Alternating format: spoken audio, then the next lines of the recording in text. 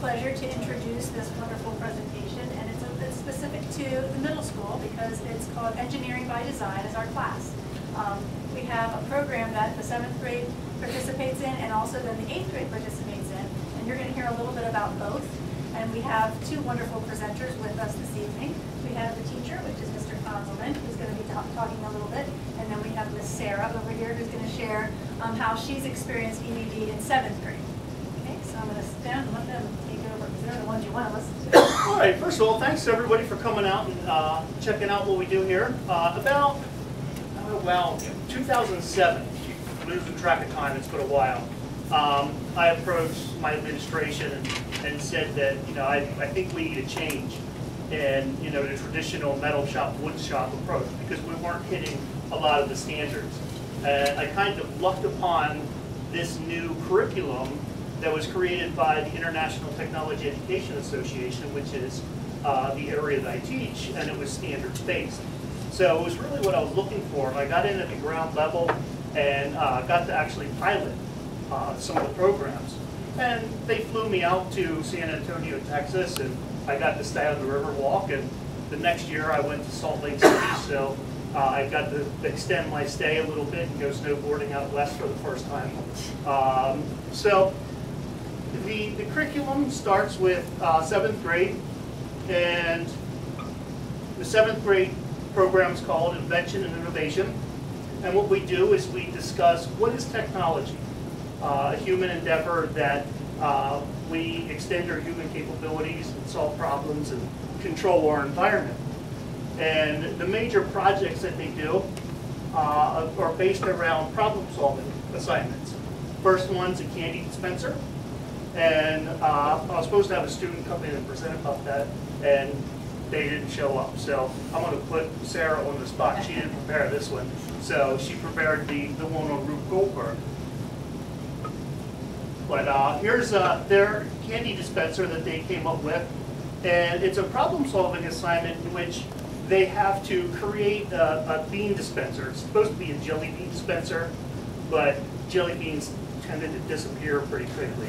So uh, I got hard dried beans instead. They don't disappear nearly as quickly.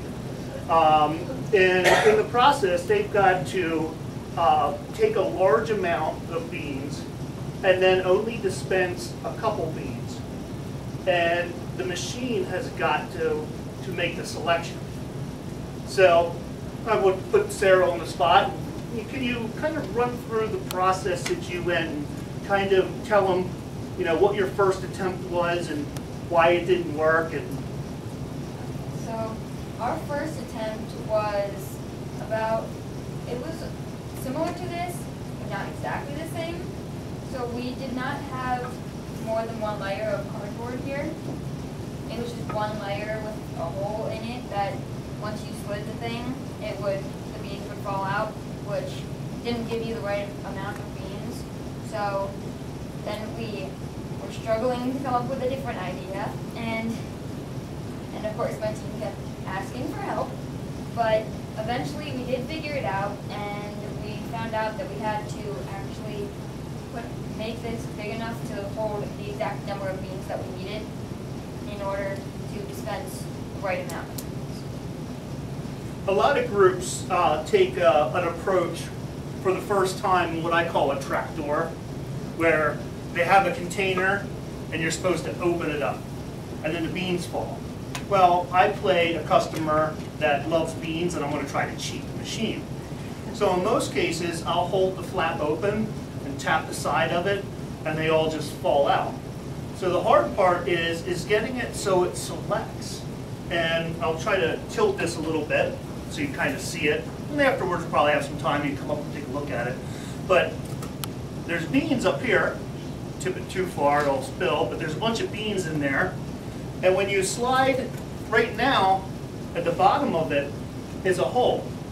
And right now, the cardboard is preventing the beans from getting down into, uh, you know, and falling out until this slide gets pushed back.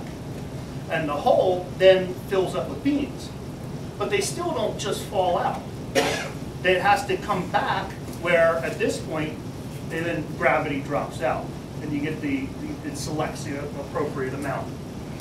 Um, so, uh, Brooke, her partner, uh, kept on coming up and asking me, how do we do this? We can't figure this out. And it was fun watching their group really struggle to get through this. And um, it was a, a different teaching approach for me in the beginning because I was used to, you know, kids came up and asked me for an answer, and I gave it to them. But this new approach was um, an approach where, you know, there was problem solving, and they had to figure it out on their own. So now I kind of sit back and enjoy the frustrations that they have to go through. It's a lot of fun to watch.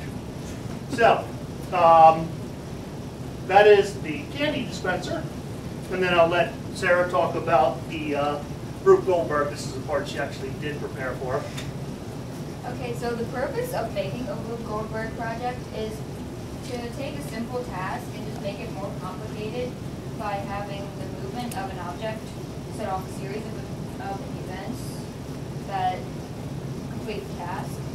In which, in our engineer by design class, we were mainly focused on forms of energy, which are potential and kinetic.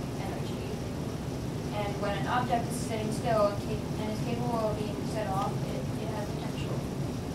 When that object is moving, it contains kinetic energy. For example, a mousetrap.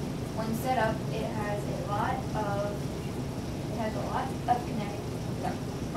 It has a lot of potential energy. When the trap is set off, the snapping motion contains kinetic energy. This would cause one object to hit another and set that object in motion. This will continue on until the task. And during both projects, they have to keep a journal that documents the process that they go through. You mind speaking a couple words about, you know, some experience you had with the uh, journaling? So in the journals, you just basically draw what you're thinking of doing and you write down what happened in your group that day.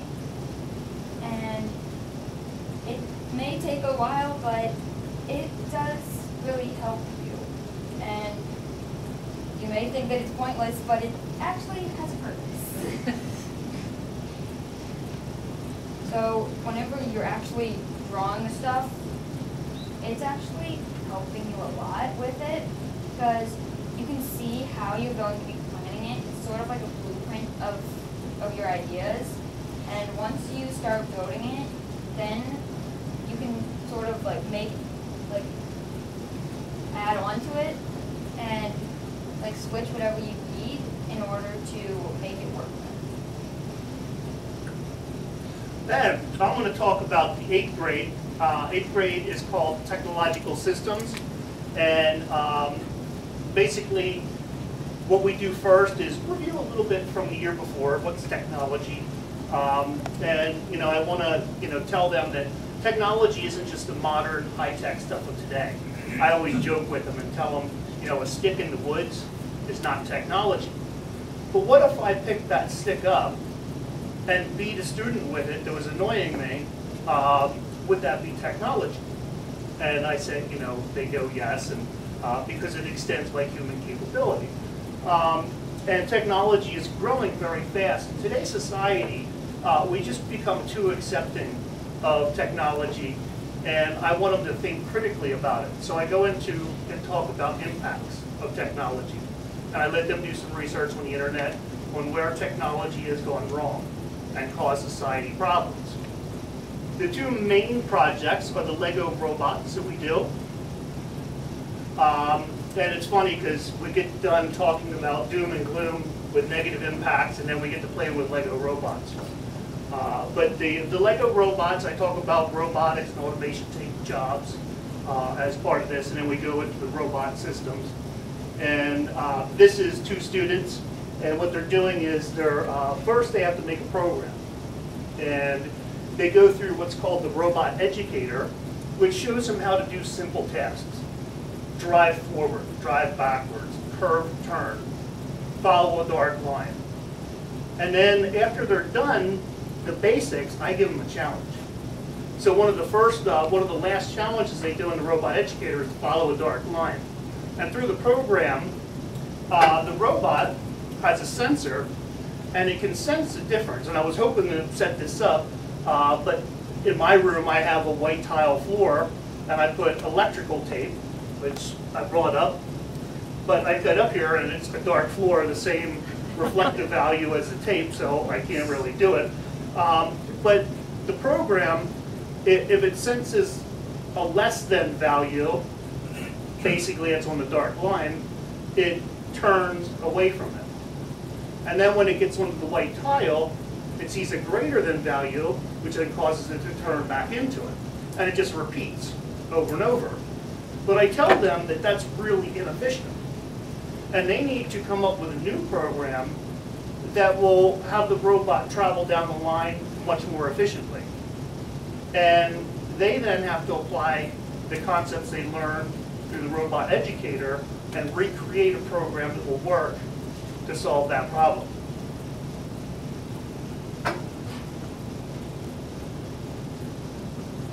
There's students running the, the program now. This challenge is they have to stay inside of a box. And then uh, I expand from there where they have to not only roam randomly, but they've got to do paths. So they've got to go back and forth. And then I make the final challenge is a mowing assignment where they've got to mow the grass in this area, but their neighbor's cat once in a while travels over, and he's a little on the crazy side. So uh, you don't want to run over your neighbor's cat with the, the lawnmower. Um, so I put this little figure I got from Burger King uh, on the middle of the floor, if it approaches that, it's got to stop. And the final project is balsa bridges. And what I do in the beginning of the balsa bridges is they've got to do some research. And once they're done the research, we take some of the concepts we learned. This is a simulation software where they figure out what forces interact with members of a structure. And uh, this program looks at the two that interact with uh, bridges, which is compression and tension. And they've got to see what and how a bridge really works. And they've got to design it, and then we look at uh, the data, and you know, they've got to figure out where they can reduce to save money uh, through the design. After that, we go into a CAD program. And we use the CAD program to create a template. And this is their printout, in which after they have the printout, they use the template to actually create their bridge. And they create two trusses and the deck. When all put together, they get to test it. This is what I call the bridge buster. And this is a bridge that has a board inside that then has a bucket hanging below there, which there's an example. So they're pouring sand into the bucket. And before they do any testing, we weigh the bridge. We'll figure out how many grams the bridge is. And then we compare it to how much the bridge held. And we figure out an efficiency. And they're going for the highest efficiency. The kids all want, you know, what was the highest weight? What was the highest weight? I said, that doesn't matter. What matters is its efficiency. And if you have a good design and good construction, your efficiency will be high. So the person who has the best efficiency in the class wins the, the competition. Any questions? Yes, What were the, the two concepts, compression and what was the other one? tension. Tension? Thanks. There's four, there's four forces that act upon members. Uh, compression, tension, torsion, and shear. Uh, compression is crushing. Um, I compare it to like stepping on an empty soda can and crushing it. That is, it, it fails under compression. Torsion, or uh, tension is the opposite, pulling apart of. And once in a while, I drag, I have a little section of rope, and I walk around the room with this section of rope just dragging behind me, waiting for a student to, you know, ask if I've gone crazy, or uh, why are you called, why are you dragging a rope around the room? And I say, you ever try to push a rope around the room? And then I use the concept of, uh, of, you know, rope is great for tension, but under compression, it's very weak. This is a half-year course in each grade, or is it the full year? They're in the class the full We year? used to have 12 weeks, um, but we're down because of uh, one of the other teachers retired. And for it to work, we had to go to nine weeks, so it fit in with the other practical arts. So it's a nine-week course in seventh grade and nine weeks in And eighth grade. grade. Yep. Any other questions? All right, thanks for coming in. I just think it's amazing when you hear, the- like, when you hear Sarah talking or Mr. Conlon talking, that these concepts are being taught in seventh and eighth grade. I don't know about some of you who are similar in my age, I'm going, wow, this was not addressed in me when I was in seventh or eighth grade, or even my son who's in college right now, I wish he would have had this class. Go ahead. Couple of questions. One, in the building, do you have any place where, my recollection would be that there were machines that sometimes show up in my basement at home now? Do you have a a woodworking shop, a metalworking shop that does physical stuff like that, or is that not part of that? We still have it. We, uh, in the prototyping, which is more in the seventh grade, we use a lot, you know, some of the tools that we did for the traditional wood and metal shop. Next question I have is physics. Is there a link that's overt to the physics, physics as a science and what you're talking about with the kids? Do you help shuttle them toward that direction, thinking about what was talked about before their engagements? Do you help process a kid who says, I'm interested in this? Do you have that conversation? This is an aspect of physics. And then can they refer into doing some things in that regard?